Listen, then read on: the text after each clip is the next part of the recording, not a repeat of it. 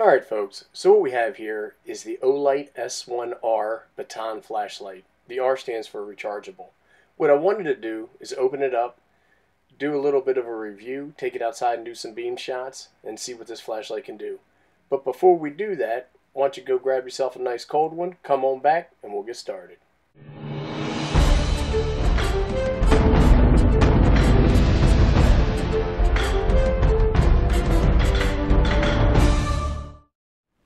Alright folks, so hopefully everybody made it back.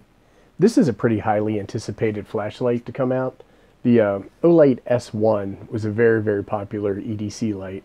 And then Olight upped the ante with this flashlight by including a magnetic rechargeable base.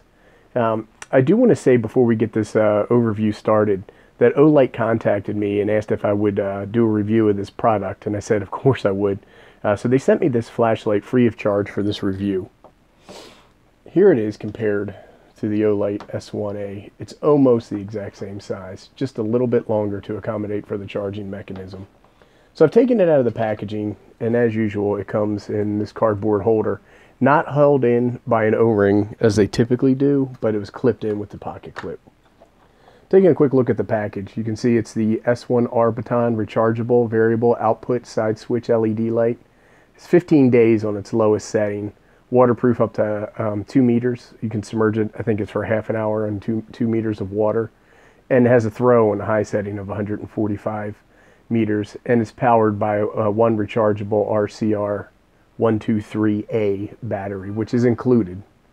Taking a look at the back of it, you can see some specifications around the lumen output and the different modes. So it comes with five modes, and if you notice on the high mode, of 900 lumens, it steps down after half of a minute. You get 55 minute runtime at 300 lumens, which is pretty good. And then you can also see the measurements around the length, the bezel diameter, and the weight. It also comes with this bag, this Olight bag, and that's for carrying the charger that it comes with. And so here's the charger. So let's go ahead and we'll plug that in so you can see what it looks like. Having a little bit of trouble there.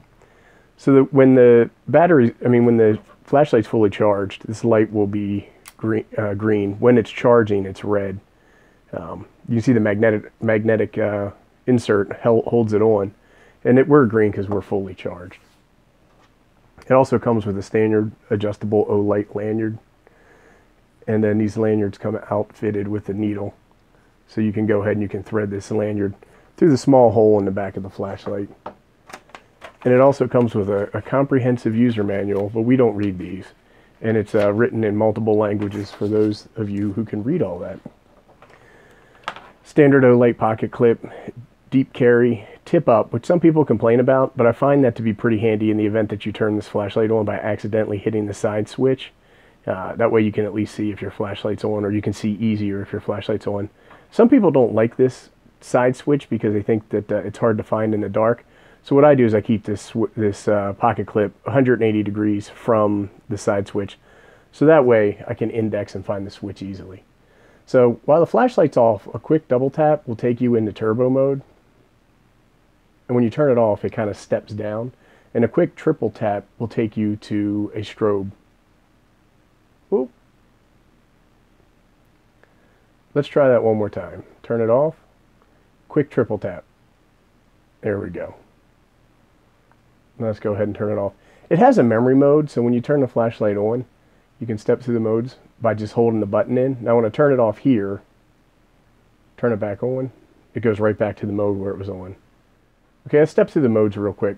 When you turn it on, I think this is low mode, hold it in, go to medium, hold it in, go to high, hold it in, go to turbo, hold it in one more time, and there is the low,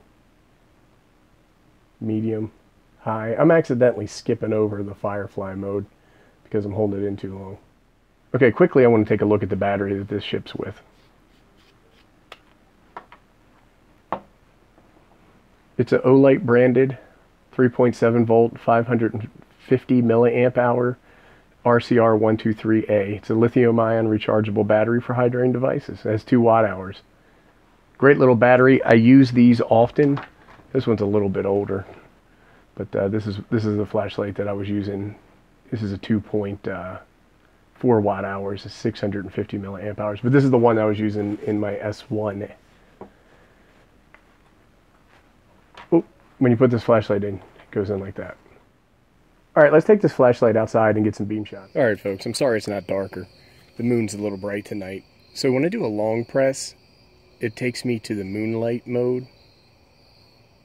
I'm not sure how well it's going to come up on the camera, but the moonlight mode's pretty functional. And hold it in, that takes me to low. So if you were doing something like an engine inspection, the low setting actually looks like it'll work pretty well. One more long press takes me to medium, and medium is, is very nice, very bright, lights up the engine compartment great. A little bit longer, this would be the high mode. Um, the high mode's great, it really lights everything up, but I don't know if it's necessary. And then of course there's the turbo. The turbo is just not necessary. It's kind of too bright. It kind of whitens everything, uh, brights it out. Let's go ahead and turn it off and we'll get some distance shots. One other thing I forgot to mention is, is that it has the handy magnetic mode. So if you wanted to go hands-free and you had some work to do, that really works well when you're working on a car at night. Okay, here we are shooting down the driveway. I'm going to do a long press and I'm going to come in on the moonlight mode, which really doesn't do anything. It's a little brighter in person than it is on the camera, but it's not worth uh, using when you're walking around. Hold it in, low mode. It's doing pretty well. I wouldn't walk around with this though because I'd want to illuminate the area a little bit more, so I would use the medium mode. As you can see, the medium mode is quite functional. You can see down to the street, which is about 20-25 yards. High mode's really bright. And probably draw attention to you using this walking around. And then there's turbo. Turbo really draws attention and it lights up pretty far. I don't know if it's 144 meters. I don't have any way to measure that, but uh, it's pretty bright. All right, folks. So what you could see from the beam shots is this is a very capable little flashlight, which would be a perfect EDC flashlight. I like these smaller flashlights because they're they're more pocketable. They don't take up a lot of real estate in your uh, in your pocket or whatever carrying mechanism that you're using. And they have really good brightness and they have really good flooding capabilities. They illuminate really well. So this is a winner in my book, and I would expect to see Olight sell quite a bit of these flashlights.